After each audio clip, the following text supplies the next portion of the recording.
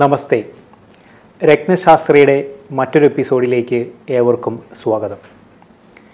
പതിവ് പോലെ നമ്മോടൊപ്പമുള്ളത് പ്രശസ്ത പ്ലാനറ്ററി ജമോളജിസ്റ്റ് ശ്രീ ഉണ്ണികൃഷ്ണൻ ശിവാസ് ഉണ്ണികൃഷ്ണൻ സാറിനെ സ്നേഹത്തോടെ രത്നശാസ്ത്രിയിലേക്ക് സ്വാഗതം ചെയ്യുന്നു. നമസ്കാരം. നമ്മൾ കഴിഞ്ഞ എപ്പിസോഡുകളിലൊക്കെ പല രത്നങ്ങളെക്കുറിച്ചും നമ്മൾ സംസാരിച്ചു.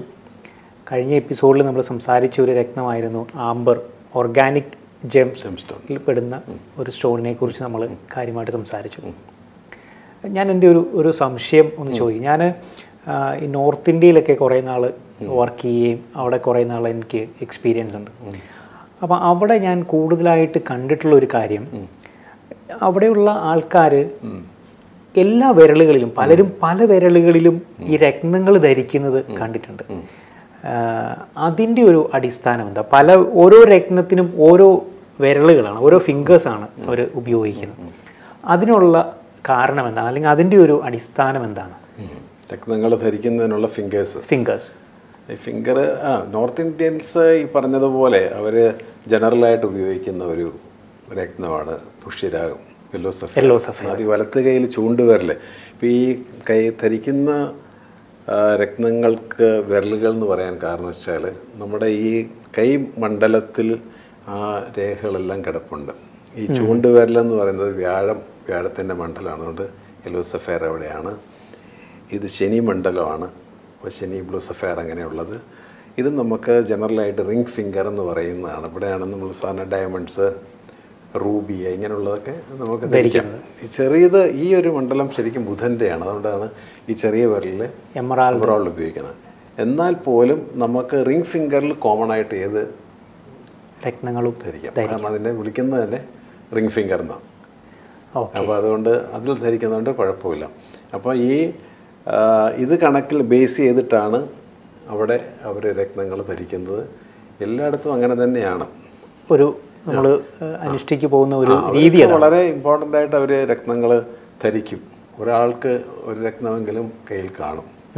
അത് ഈ രത്നം ധരിക്കുന്നത് ചെറുപ്പം മുതൽ ധരിക്കുന്നത് നല്ലതാണോ? ഏറ്റവും ബെസ്റ്റ് അതാ. നമ്മൾ നല്ല ചിന്തകളും നല്ല തത്വങ്ങളും നല്ല ശീലങ്ങളും പാലിക്കേണ്ടത് എപ്പോഴാണ്? ചെറുപ്പകാലത്തിൽ നമ്മൾ പഠിച്ചു വരണം. ഇപ്പോഴേ വേണം. നല്ല ഭക്ഷണം നല്ല വ്യായാമം നല്ല ശീലങ്ങൾ എല്ലാം ചെറുപ്പത്തിലേ ആചരിച്ചു വരണം. ചൊട്ടയിലെ ശീലം ചുടല വരെ. എന്നാണ്. അപ്പം ചെറുപ്പം തുടങ്ങി ഈ രത്നങ്ങൾ ഉപയോഗിക്കുന്നത് വളരെ അപ്പോൾ നമ്മളിപ്പോൾ എമറോൾഡൊക്കെ സ്യൂട്ടബിൾ ആയിട്ടുള്ള കുട്ടികളൊക്കെ ആണെങ്കിൽ അവരുടെ ബ്രെയിൻ നല്ല എപ്പോഴും നറീഷിംഗ് ആയിട്ട് നിൽക്കും. അതിങ്ങനെ അതിന്റെ എനർജി ഇങ്ങനെ കിടക്കും തോറും കിടക്കും തോറും കിടക്കും തോറുമാണ് കൂടുന്നത്. എപ്പോഴും നമ്മൾ ഇട്ട ഉടനെ അല്ലേ എനർജി സാവധാനം. പതുക്കെയാണത്. സാറേ റൂബി ധരിച്ചു. പക്ഷേ ഒരു അങ്ങോട്ട് എന്നാണോ ബസ് കിട്ടിയില്ല കഴിഞ്ഞ ദിവസത്തെ എന്റെ. ഇങ്ങനെയൊക്കെ ആൾക്കാർ കണക്ട് ചെയ്ത് കളയും.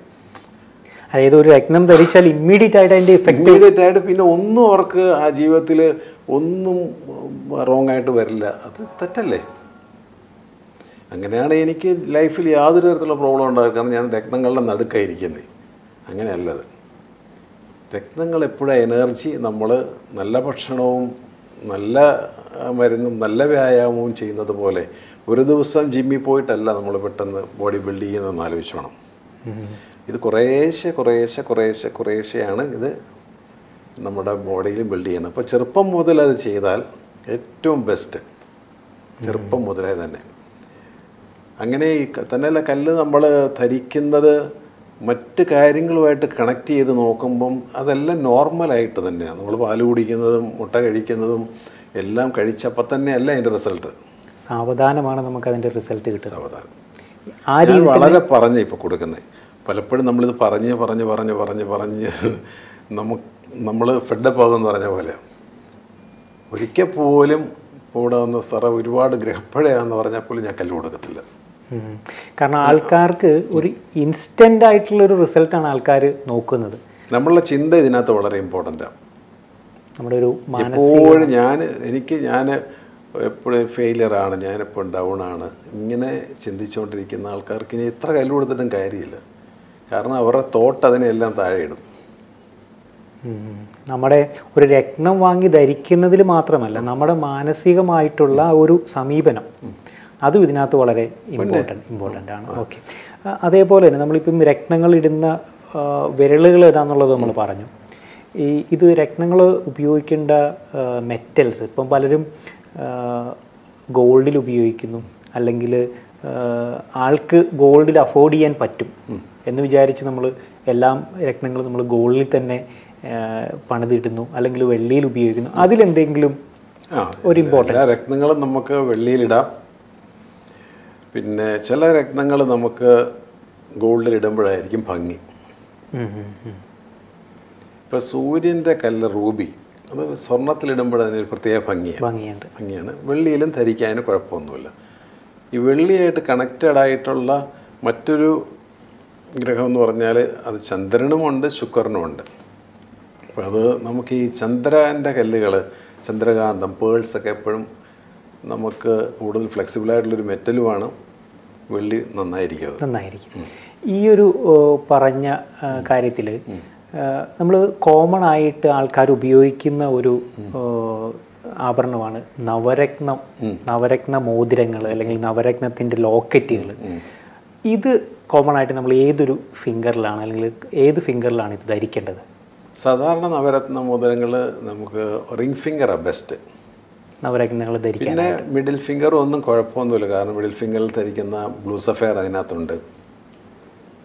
ഓക്കെ അതിനകത്ത് വിരലുകൾ വലിയൊരു ഇമ്പോർട്ടൻസ് ഇമ്പോർട്ടൻസ് ഇതിനകത്ത് വരുന്നില്ല.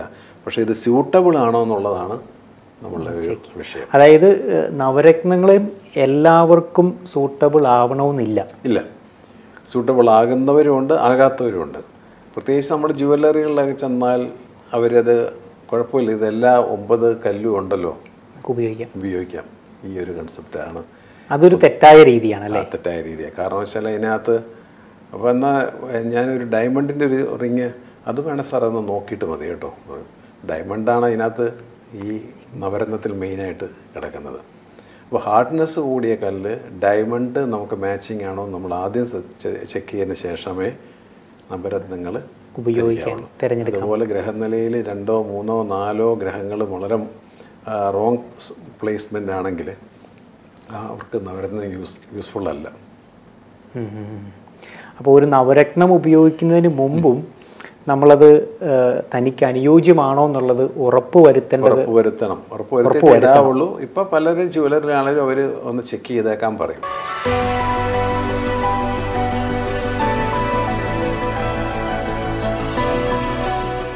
രത്നശാസ്ത്രയിലേക്ക് തിരികെ വരാം.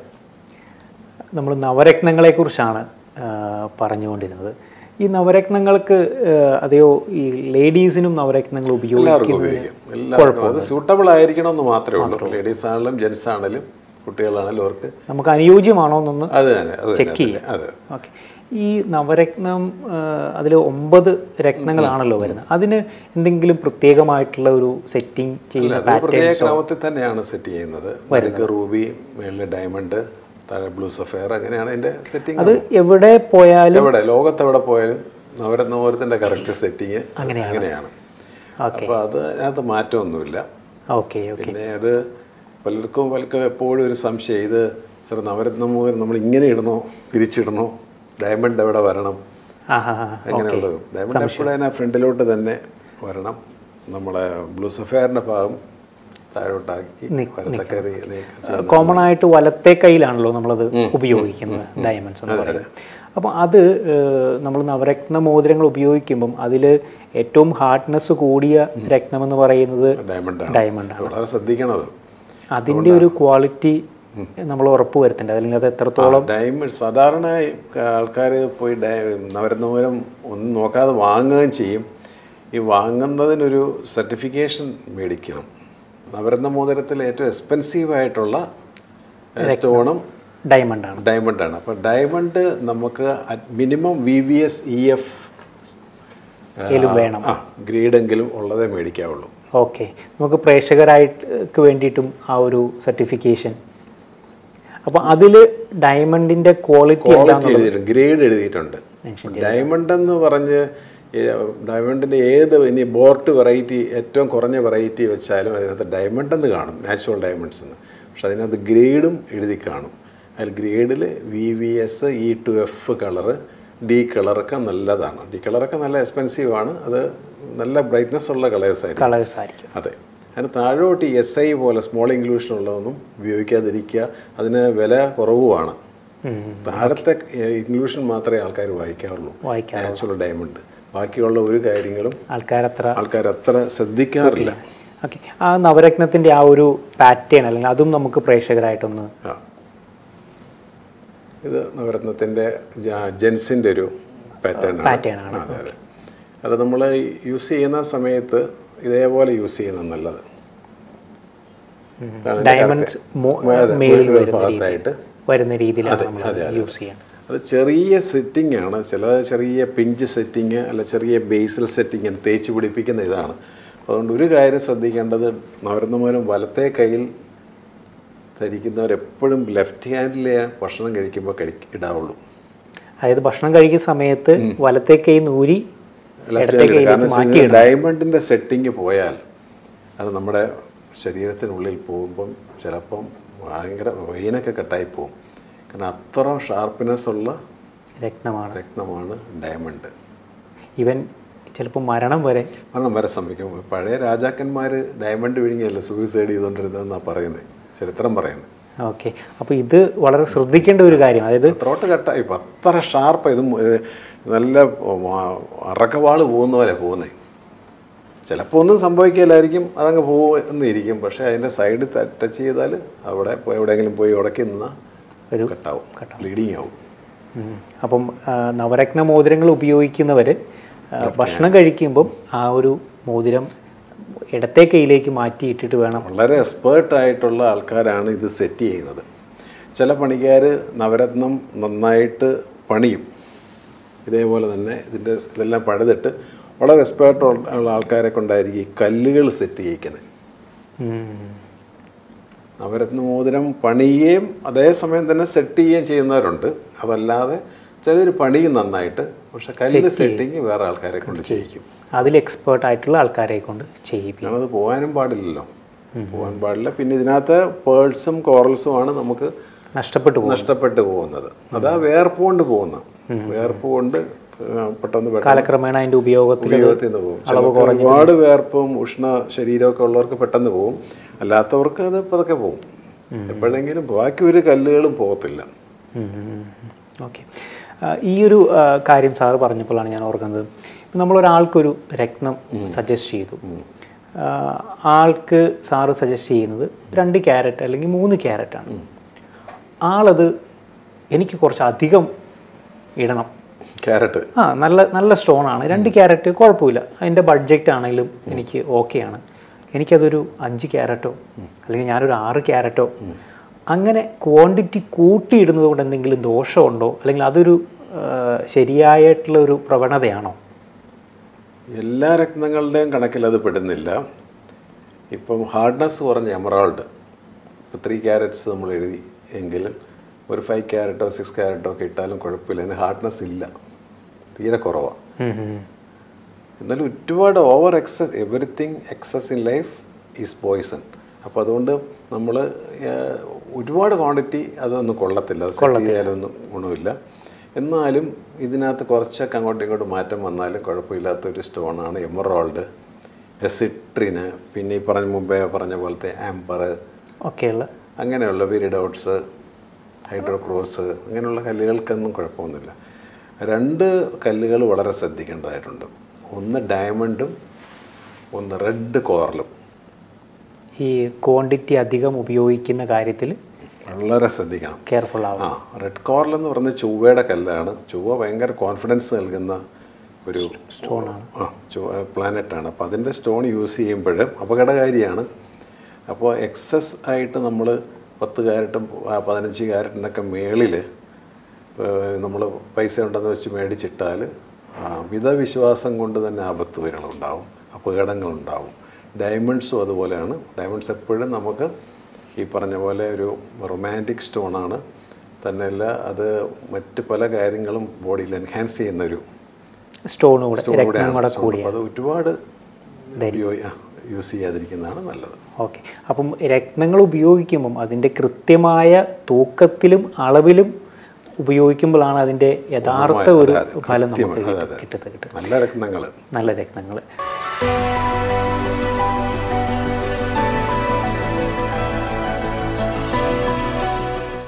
രത്നശാസ്ത്രയിലേക്ക് തിരികെ വരാം. നമ്മൾ പറഞ്ഞു വന്നിരുന്നത് റെഡ് കോറലിനെ കുറിച്ചും അതുപോലെ തന്നെ ഡയമണ്ടിനെ കുറിച്ചുമാണ് അതിന്റെ അമിതമായിട്ടുള്ള ആ ഒരു യൂസേജ് ക്വാണ്ടിറ്റിയിലുള്ള കൂടുതൽ ഉപയോഗിക്കുന്നതിനെ കുറിച്ചുള്ളതാണ് നമ്മൾ പറഞ്ഞു വന്നത്. അതും എപ്പോഴും നമ്മൾ ആ ഒരു കറക്റ്റായിട്ടുള്ള തോതിൽ അല്ലെങ്കിൽ അളവിൽ ഉപയോഗിക്കുമ്പോഴാണ് അതിന്റെ ഒരു തീർച്ചയായിട്ടും. അതുപോലെ തന്നെ മറ്റൊന്ന് കുട്ടികൾക്ക് പഠിച്ചുകൊണ്ടിരിക്കുന്ന കുട്ടികൾ ഒരു ടീനേജ് ആ ഒരു സമയത്തൊന്നും ഡയമണ്ട്സ് അധികം നമുക്ക് സജസ്റ്റ് ചെയ്യാം ഉപയോഗിക്കാൻ കൊള്ളത്തില്ല. ഓരോ പ്ലാനറ്റിനും ഒരു സിഗ്നിഫിക്കൻസ് ഉണ്ട് ഒരു ക്യാരക്ടറിസ്റ്റിക്സ് ഉണ്ട്.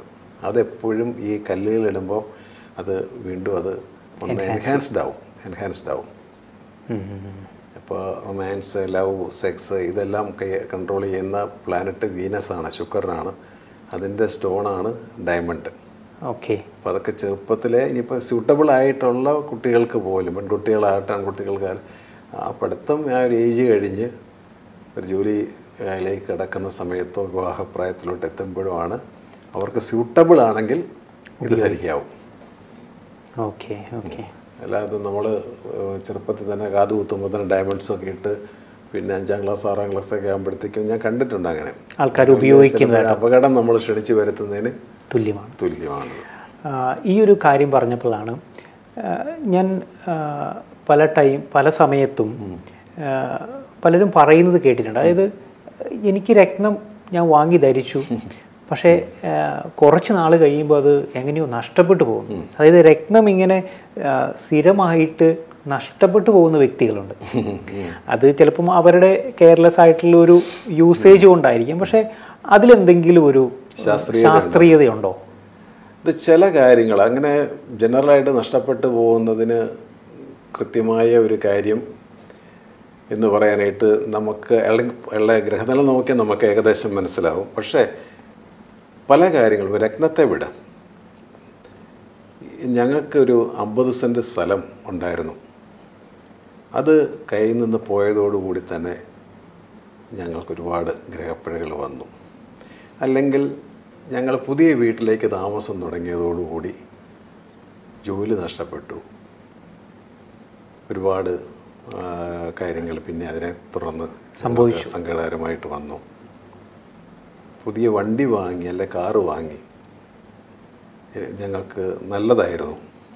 ആ കാർ ഞങ്ങളുടെ കയ്യിൽ നിന്ന് പോകരുതായിരുന്നു ഇത് ഞാൻ എത്രയാണേലും വിൽക്കത്തില്ല ഈ വണ്ടി. പറഞ്ഞു കേട്ടിട്ടില്ലേ? ധാരാളം. ധാരാളം കേട്ടു ചില ഷർട്ടുകൾ ഈ ഷർട്ട് ചില ഷർട്ട് എത്ര ഇതാണെങ്കിലും നമ്മൾ അതേ തന്നെ പിടിക്കും നമ്മൾ കാരണം ഇത് ഇടുന്ന ഇട്ടുകൊണ്ട് പോയാൽ കോൺഫിഡൻസ് ഇതൊരു വ്യക്തിയുടെ ഒരു സ്വാധീനം തന്നെയാണ് ആ ചിലർക്ക് ഇത് പറഞ്ഞ പോലെ കല്ലുകൾ തീരെ ഒരു ഗ്രഹപ്പഴ സമയം വരുമ്പോൾ നമുക്ക് ആരും കാണില്ല സാർ ഒരു കുഞ്ഞുങ്ങൾ കാണത്തില്ല. നമ്മുടെ കൂടെ നിൽക്കുന്ന ആൾക്കാർ പോലും ഉണ്ടാവില്ല. ആ അതുപോലെ ഒരു പ്രിയ സുഹൃത്ത് ഉണ്ടായില്ലെന്നിരിക്കും അന്നേരം ആയിരിക്കും അയക്ക് അമേരിക്കയ്ക്ക് ജോലി കിട്ടിപ്പോകുന്നത്. നമുക്ക് നമ്മുടെ സങ്കടങ്ങളൊന്ന് പങ്കിടാനോ പ്രവർത്തിക്കാനോ ഒന്നും കിട്ടാത്തൊരവസരം അതെല്ലാ മനുഷ്യന്റെയും ജീവിതത്തിലുണ്ട്. നിങ്ങൾ സൂക്ഷിക്കാത്തത് ഒരു നമ്പർ വൺ ആ. പിന്നെ കയ്യിൽ നിന്ന് നഷ്ടപ്പെട്ടു പോകുന്ന രത്നങ്ങൾ പേൾസ് കോറൽസ് ഒക്കെ നമ്മുടെ അതിന്റെ സെറ്റിംഗ് ഒക്കെ വിട്ട് പോകും. തുടർച്ചയായിട്ട് പോകുന്നുണ്ടെങ്കിൽ അത് അതുള്ള നല്ല സമയത്ത് നല്ല കാലഘട്ടങ്ങളിൽ നമുക്കെല്ലാം ഉണ്ടാവും നമ്മുടെ കൂടെ. ഒരു മോശകാലം തുടങ്ങുമ്പോൾ നമ്മുടെ കയ്യിലിരിക്കുന്ന സകലതും പോകും ഇൻക്ലൂഡിങ് സ്റ്റോൺസ് ഇതേ ഇതിനെക്കുറിച്ചിട്ടൊരു ഒരു എക്സ്പ്ലനേഷൻ നമുക്ക് പറയാനുള്ളൂ. അത് ഓരോ വ്യക്തിയെയും ആസ്പദമാക്കിയിട്ടായിരിക്കും. നമ്മളിപ്പോൾ ഒരു മോശമായ ഒരു പ്രോപ്പർട്ടി നമ്മുടെ കയ്യിൽ വരണമെങ്കിൽ നമ്മുടെ സമയം എന്തോ മോശമാകാൻ പോകുന്നുണ്ട് അത് കയ്യിലോട്ട് മേടിക്കുന്നത്. ശരിയാണ്. അപ്പം ഇതിനെല്ലാം പല കാര്യങ്ങളാണ് ഇതിനകത്ത് ക്ലബ് ചെയ്ത് ക്ലബ് ചെയ്ത് ഒരു കാര്യം മാത്രമല്ല. ഓക്കെ ഈ ഒരു കാര്യത്തിൽ ഒരാളുടെ ബർത്ത് ചാർട്ട് നോക്കുമ്പോൾ ആൾ ജനിച്ച ആ ഒരു സ്ഥലം. അതിന്റെ ഒരു പ്രാധാന്യമല്ല ഇപ്പം നമ്മൾ അമേരിക്കയിൽ ജനിച്ച ഒരു വ്യക്തി. ആൾ സമയം കുറിച്ച് വെക്കുന്നത് ചിലപ്പോൾ നാട്ടിലെ സമയം കുറിച്ച് വെക്കും. അപ്പം ഈ ജനിച്ച സ്ഥലത്തിന് എത്രത്തോളം ഇമ്പോർട്ടൻസ് ഉണ്ട്. കാരണം ആ വ്യക്തി അമേരിക്കയിൽ ജനിക്കേണ്ട ആളായതുകൊണ്ടാണല്ലോ അവിടെ ജനിച്ചത്. ജനിച്ചത്. ഇല്ലേ? അപ്പം നമ്മൾ അത് കൺവേർട്ട് ചെയ്ത് ഇന്ത്യൻ ടൈം ആക്കേണ്ട ആവശ്യമില്ല. അവിടുത്തെ ടൈം അവിടുത്തെ സൺറൈസ് അവിടുത്തെ ലോഞ്ചിറ്റ്യൂഡ് ലാറ്റിറ്റ്യൂഡ് ഇതെല്ലാം വളരെയധികം ബാധകമാണ്. ഇത് ജനിക്കാനൊരു സ്ഥലം മരിക്കാനൊരു സ്ഥലം. അറുപത്തഞ്ച് എഴുപത് വയസ്സ് വരെയും എല്ലാ കൊല്ലവും ശബരിമലയ്ക്ക് പോയി. തൊട്ടടുത്ത ആൾ അപ്പാച്ചിമേട്ടി വെച്ച് മരിച്ചുപോയി. ആളുടെ വിധി എങ്ങനെയായിരുന്നു? വിധി അതായിരുന്നു. അല്ലാതെ ശബരിമലയ്ക്ക് പോയതുകൊണ്ടാണോ? അങ്ങനെ ആയതല്ല. അയാൾ അവിടെ കിടന്ന പുണ്യസ്ഥലത്ത് തന്നെ മരിക്കാനാണ് അദ്ദേഹത്തെ യോഗം. എന്ന് പറഞ്ഞ പോലെ നമുക്കെപ്പോഴും ബർത്ത് ചാർട്ട് ഉണ്ടാക്കണമെങ്കിൽ ഒരിക്കലും ടൈം കൺവേർട്ട് ചെയ്യരുത്. ഗൾഫിലേക്കാണെങ്കിൽ നമുക്കൊരു ഒന്നര മണിക്കൂർ എന്നും പറഞ്ഞ് വേണം കൺവേർട്ട് എങ്കിൽ പോലും ഫസ്റ്റ് ഹൗസ് മാറിപ്പോവും. ആ- ആ ഒരു രീതി തെറ്റാണ് തെറ്റാണല്ലേ? തെറ്റായ രീതിയാണത്. അപ്പം നമ്മൾ എവിടെ ജനിക്കുന്നു അവിടുത്തെ ടൈമും കാര്യങ്ങളാണ് നമ്മൾ ഒരു ടു അവേഴ്സ് നിൽക്കും ഒരു ഫസ്റ്റ് ഹൗസ് ഒരു ലഗ്നം മറ്റൊരു ലഗ്നത്തിലേക്ക് ചേഞ്ച് ചെയ്യാൻ രണ്ട് രണ്ട് മണിക്കൂറാണ് അതിലൊരു ഒന്ന് മുക്കാൽ മണിക്കൂറിലാണ് ജനിക്കുന്നതും ബർത്ത് പ്ലേസും വ്യത്യാസം ഉണ്ടെങ്കിൽ ഹൗസ് ഈസിയായിട്ട് മാറിപ്പോകും ഒരിക്കൽ പോലും അങ്ങനെ ചെയ്യരുത്. ഇപ്പം അതിനുള്ള സോഫ്റ്റ്വെയർ എല്ലാം ഉണ്ട്. നമ്മൾ ബർത്ത് പ്ലേസ് അടിച്ചു കൊടുത്താൽ മതി. അപ്പോൾ കറക്റ്റായിട്ട് ആ ഫസ്റ്റ് ഹൗസ് മുതൽ സകല ഹൗസുകളും കറക്റ്റായിട്ട് വരും. ഒരിക്കലും കൺവേർട്ട് ചെയ്യാൻ ശ്രമിക്കരുത്. വളരെ ശ്രദ്ധിക്കേണ്ട ഒരു ഒരു കാര്യം കാരണം ഒരു ചാർട്ടാണല്ലോ നമ്മൾ ആസ്പദമാക്കിയിട്ടാണല്ലോ എല്ലാ കാര്യങ്ങളും ചെയ്യുന്നത് ഫസ്റ്റ് ചാർട്ടേ പോയാൽ എല്ലാം പോയി. അപ്പം ഇപ്പോൾ ഒരു നവരത്ന മോതിരം ധരിക്കുകയാണെങ്കിലും അല്ലെങ്കിൽ നമ്മളൊരു വേറെ ഏതെങ്കിലും രത്നങ്ങളെ നോക്കുകയാണെങ്കിലും അവിടെയും നമ്മുടെ ബർത്ത് പ്ലേസിനുള്ള ആ ഒരു പ്രാധാന്യം പിന്നെ ഏത് രത്നമാണെങ്കിലും അത് തനിക്ക് അനുയോജ്യമാണോ എന്ന് ഉറപ്പ് വരുത്തിയതിന് ശേഷമേ ധരിച്ചു തുടങ്ങാവുള്ളൂ. തൂക്കത്തിൽ തൂക്കത്തിൽ കൃത്യമായ രത്നം നമ്മൾ ധരിക്കണം. എനിക്ക് തോന്നുന്നു ഇന്നത്തെ എപ്പിസോഡും ധാരാളം അറിവുകൾ കൊണ്ട് സമ്പന്നമായിരുന്നു നമ്മുടെ ഈ എപ്പിസോഡ്. ഇന്നത്തെ ഈ എപ്പിസോഡ് നമുക്ക് വൈൻഡപ്പ് ചെയ്യാൻ സമയമായി. മറ്റൊരു എപ്പിസോഡിൽ നമുക്ക് കണ്ടുമുട്ടാം. താങ്ക് യു നന്ദി നമസ്കാരം.